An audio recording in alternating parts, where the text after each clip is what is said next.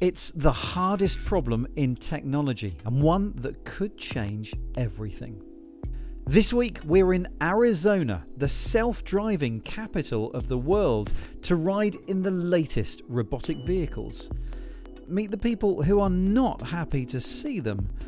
What am I going to do then? Stand in line for food?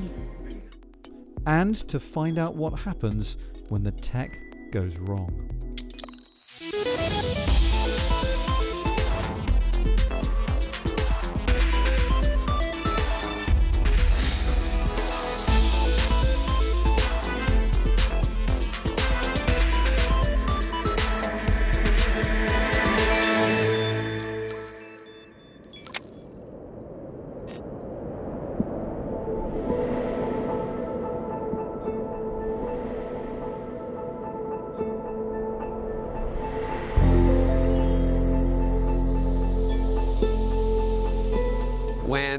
California told Uber that there were going to be some new regulations they needed to adhere to, Governor Ducey, in a public announcement, said California may not want you. We want you to know that Arizona does.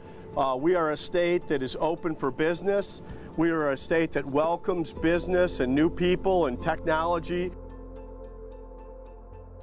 Our governor, Governor Ducey, had had basically opened wide their arm, the, the arms of our state to welcome them there, and it was it was a no-brainer. Chandler as a hub where autonomous vehicles are growing and having more miles mapped on our roads than any place else in the, in the galaxy. It's, it's kind of great to be the center of that. Well, Chandler, I, I believe, was chosen because it has very wide streets, it's, it's um, very clean streets, they're on a grid, and the people would be very accepting of this kind of technology. And so it was that the technology that will one day change our society, our landscape, and our lives found a home in Arizona. The makers of self driving cars have flocked to the town of Chandler, which has fast become the industry's testbed. Today, I'm taking a ride in one of the most prolific types of self driving cars here, made by Google's subsidiary, Waymo. Now, self driving cars come kitted with loads of sensors so they can see in every direction and sometimes in ways that we can't with our eyes. On top, we've got loads of normal cameras looking in every direction, and the fact that there's loads of them means that they can judge distances by seeing how different objects move in relation to each other. Now, there's also radar four of those, one on each corner. And these spinning things, these are the really interesting things. These are LiDAR sensors. There are five around and a big one in the black bump on the top, which can see three football pitches ahead and behind. Right, let's go for a ride. Oh, we have our safety driver.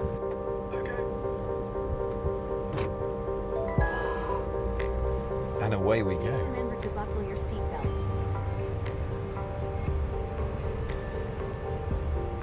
We've just pulled out in front of quite a fast moving car there. We made it. I call that quite a human maneuver. Companies like Waymo are experimenting whether their technology can avoid hitting you. I mean, that's the experiment. When you go uh, out on the streets here or when you cross in a crosswalk and there's a Waymo, Waymo is actively testing whether or not its cars can avoid an accident and avoid an accident with you if you happen to be on the roads. And some people also are clearly offended by that notion. In fact, some residents have reacted very strongly indeed. Check out this video we found on YouTube showing a man attacking a self driving car. you know, there's hundreds of thousands of people that see these cars on the road every day, but there have been some folks who really don't like them and have either tried to run them off the road with their own cars or thrown rocks at them. One man drew a gun and aimed it at the safety driver as the car passed by his driveway. So some people really have a problem with this amount of technology sharing the roads with them and kind of cruising through their neighborhoods at all hours of the day. But a lot of these incidents are not when the car cuts someone off in traffic or the things that would maybe make another driver mad at me. It's just their presence. It's just the fact that they're there um, that seems to really set people off. And you know, in some instances, it's not even people who are driving. It's people like riding their bike or, or walking that throw a rock at them um, or run out and slash a tire while one's stopped at a stop sign. So frankly, I can't tell you what's going on in their minds because I would never run out and slash someone's tire, you know, uh, for no reason. Um, but there is just something deeply offensive about this technology and how ubiquitous it is in this part of Arizona now. So, so we, in the last three years, we've responded to about two dozen uh, incidents where um, people have um, taken some type of action against the vehicle or the vehicle and driver, where this uh, uh, could have been what we classify as maybe like a, a road rage, where someone may uh, confront the vehicle and, and, yell at the driver. Uh, we've had incidents of criminal damage where people have thrown rocks at, at the vehicles. Uh, we've had one particular incident where a person in a neighborhood actually pointed a gun, pointed a pistol at, at, at the vehicle. Probably the, the number one frustration is that Waymo vehicle is being safe, being prudent, and following the law. And there are people um, who get frustrated by that. So there are plenty of people in a hurry, and there are plenty of people that, that go above the speed limit or make uh, improper turns or, whatever the violation is. And sometimes uh, people have been annoyed at the vehicle actually going the speed limit and driving correctly. In Chandler, there is the same mix of excitement and concern about self driving cars that we've seen everywhere. The difference is, for these people, it's happening right in front of them right now. It's big money saying, hey, listen, this is cool, this is new. I'm sure you would like this because you see it and it's fascinating. But at the same time, you're costing people their jobs and people who are taking care of their families. But you'd rather see something cool and be in this new age rather than still care about the people that actually this affect.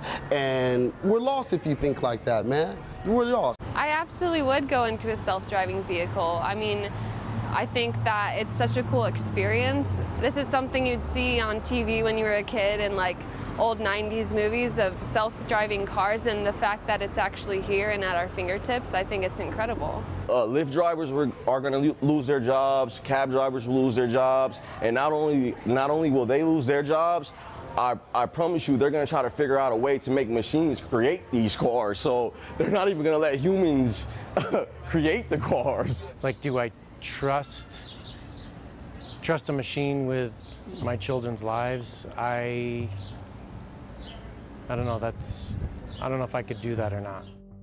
And last year, the fears of the community became a reality.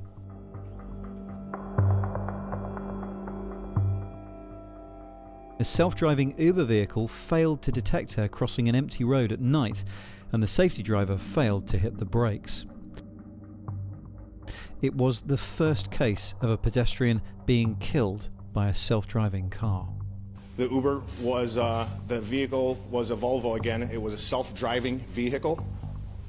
It was in the autonomous mode at the time, and our investigation did not show at this time that there were significant signs of the vehicle slowing down. The Uber vehicle hit Elaine Herzberg at 38 miles an hour. This was a huge moment for the burgeoning industry, which led to Uber having to immediately halt their self driving program. So, what exactly happened, and whose fault was it? We went to the site of the crash in Tempe, Arizona, with the news editor of the Phoenix New Times, Ray Stern, to find out more about the incident. Okay, it's, it's, it's on the other side. She took her bike from this area, walked it across this lane, and then entered this lane. The Uber vehicle was in this lane and it just kept staying in this lane, even though the pedestrian is here. It should have swerved. It had time and, and place to swerve, but it didn't. So before she made it to the sidewalk, it impacted her. I absolutely would have seen Elaine as she started to cross the road, and I would have absolutely braked for her. Most reasonable drivers would have. In fact, any driver who was paying attention would have not hit Elaine Herzberg. In order to entice Uber and other companies into Arizona, Governor Ducey had relaxed regulations, which meant companies faced no requirement to disclose anything about their programs, including crashes. Basically, the governor invited Uber in. That was one problem. Uh, they have been they were operating here without any uh, uh real uh, transparency in terms of what they were actually doing, when the vehicles were in autonomous mode, uh, what their criteria were for it. Um, and then, so the vehicles were doing whatever they wanted, and Uber had free rein. Tempe police called the crash entirely avoidable after investigations found that the safety driver was watching television on her phone at the time of the fatal incident. Ms. Vasquez could still face charges of vehicular manslaughter. Um, she looked down, uh, they estimate 160 times during the circuit that she was doing. Um, uh, the evidence showed that she was streaming The View, which is a TV show, on her phone at the exact time of the impact. So, what exactly went wrong with Uber's self driving technology on that night? It can't really be to do with poor visibility, can it? One of the messed up things about this whole accident has been the video that was released by Uber after the accident. And if you've seen this video, um, it looks like the street is very dark, and then at the last second, the woman on the bike suddenly pops out of the darkness right before the impact. In fact, this area is not as dark as that video shows. This drive through at night follows the same route as the Uber vehicle. It shows that the street lighting makes the road clearly visible far into the distance. The New York Times reported that Uber were not living up to expectations before the crash. As of March 2018, Uber was struggling to meet their target of 13 miles per intervention in Arizona. As a comparison, GM owned Cruise reported to California regulators that they went more than 1,200 miles per intervention, and Waymo said that their California test cars went an average of nearly 5,600 miles before driver intervention. Reports said that the Uber vehicle actually detected Elaine Herzberg six seconds before the crash, but the perception system got confused, classifying her as first an unknown object, then as a vehicle, and finally as a bicycle. Those Volvos came from the factory with a um, accident avoidance system, one of these new semi-autonomous features that a lot of the new cars have.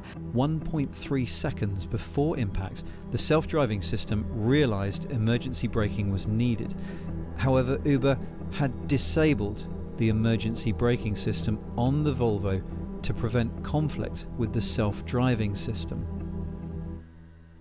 Nevertheless, prosecutors have determined that Uber were not criminally liable in the death. If, uh, if Uber hadn't have disabled that technology, then potentially the vehicle would have detected uh, the pedestrian even without the Uber autonomous technology, just with the Volvo technology, and stopped the vehicle.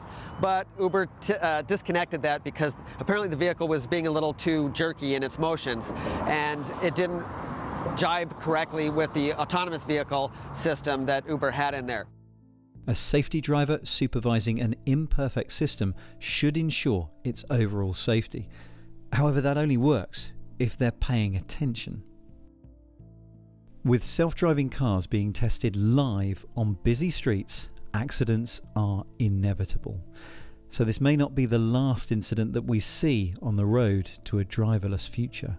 But the number of accidents involving self driving cars is very low for the millions of miles of testing that have taken place. If there's an opportunity to help keep our roadways safe, that's, that, that, that's certainly our responsibility and, and our, our mission to keep our community safe and obviously our roads. So if we can reduce the number of collisions and people being injured and killed, by leveraging new technology is something we certainly want to explore and, and support as we're moving forward. Because we know that the overwhelming majority of collisions are, are preventable. They're caused by, by, by humans. We're just not able to share in the way that these vehicles are. I don't have access to 10 billion driven miles, which in the future these vehicles will have, to every oddity that happened to be disseminated across a fleet. I want a world where a fender bender in Copenhagen improves someone's safety in a mine in Cape Town that afternoon in a way that we just don't as humans. So in 2017, uh, national statistics show that over 10,000 people were killed because of impaired drivers. Over 300,000 people nationally are affected uh, every single day because of impaired driving. Two out of three people are going to be affected at some point in their lifetime across this country. And when we think about uh, self driving technology, The reason why we're so excited about this is because if we can take that number of 10,000 people and drop it by one, 9,999, because of this technology, that's what we want and that's what we strive for. And it's not just the added safety. There are many people who will be empowered and mobilized by self driving cars. The biggest challenges for people when they think about giving up their keys and give, getting rid of the car and not driving anymore is that loss of independence. So, self driving car technology, for people to be able to maintain that dignity and independence to go where they want to go when they want to go, is tremendous. To not have to rely on somebody else. You know, when you start talking about the senior population, that sense of pride and independence is very, very strong. So to try to take that away from somebody is a really difficult uh, situation. We have large communities here where people have come to retire, and at some point they're going to need to turn in those keys and, and be off our roads. Uh, so that's certainly a force.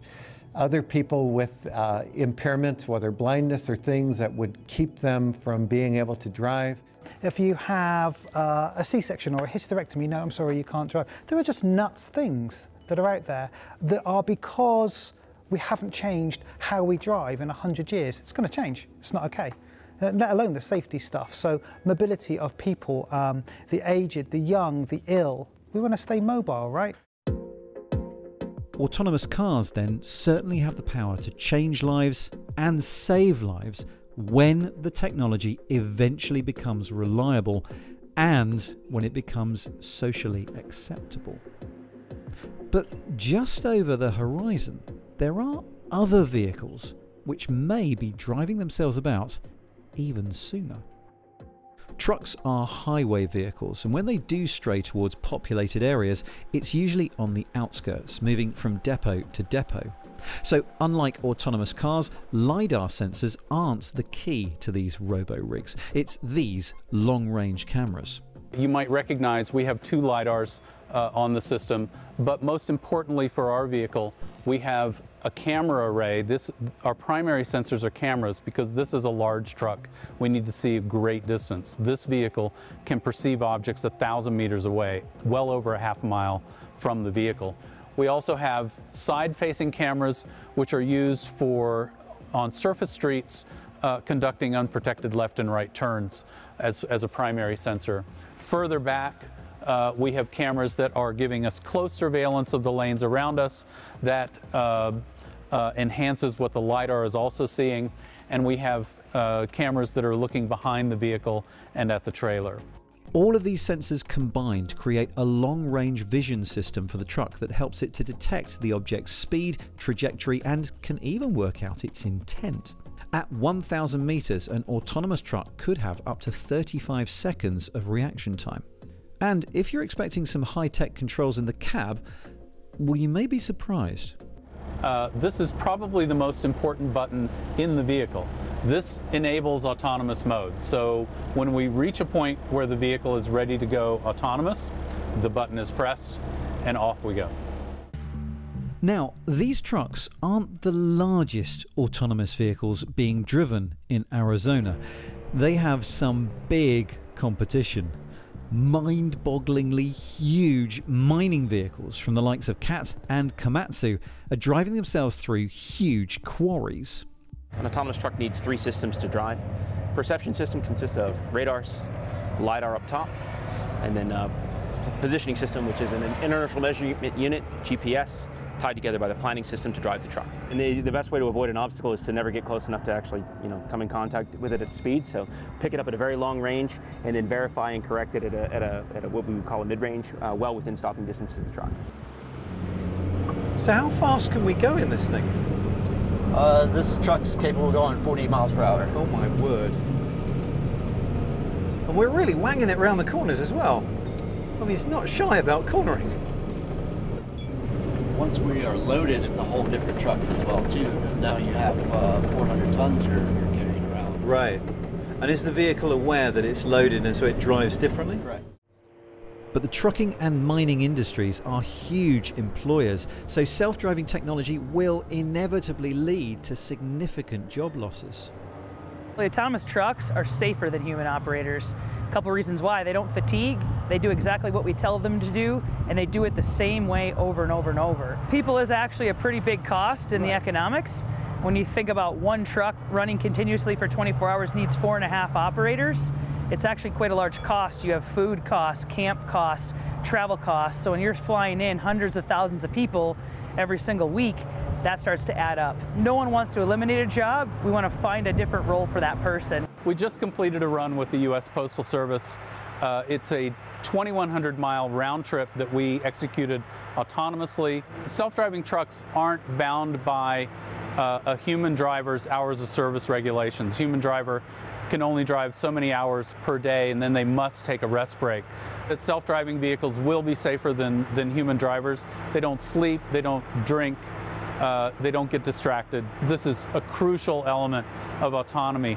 Since there's such a shortage of drivers now, we believe that this technology will be applied first to address the shortage. We think there are going to be plenty of opportunities for human drivers for the foreseeable future. So, how do truckers feel about their jobs being threatened by self driving rigs?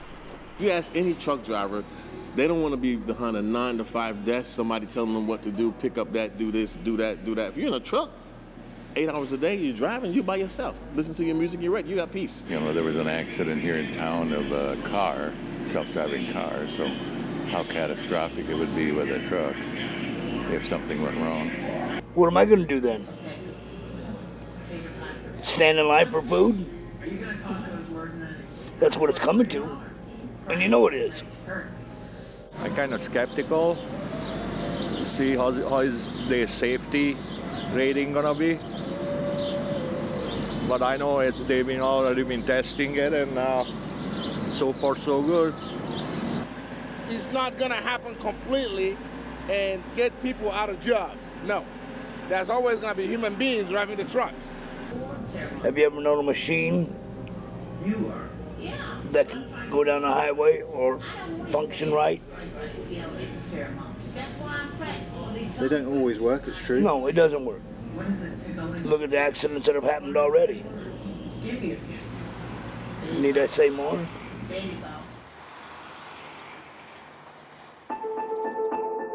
But let's not get ahead of ourselves here. These drivers almost certainly have a while yet before their jobs disappear. While the advancements that we've seen in the last few years are more than impressive, getting a computer to fully understand the real world and drive safely through it will be a monumental achievement. They're not saying then it's done, because it's not. This is not a solved problem. This is a hard problem. It is many years before you can buy a car that has no steering wheel and I say I'll have the car with no windscreen and it has the same functionality as your car does now.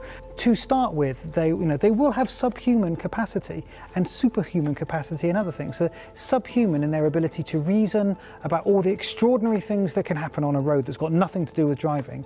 Superhuman in their ability to concentrate and never, ever, ever get distracted. To see in ways that humans don't see with radar and laser, to sense distance. Extraordinary things. And above all, the ability for these vehicles to share and acquire competencies, not because of their own experience, but because of the experience of all other vehicles everywhere else in the world. That is an extraordinary thing, and that is the compelling reason why these vehicles are coming. They will be better than us, because there's nothing in our evolutionary history that makes us good at controlling a ton and a half of metal at 70 miles an hour. Here in Arizona, I've seen the benefits of and the resistance to the idea of the machines taking over another part of our lives.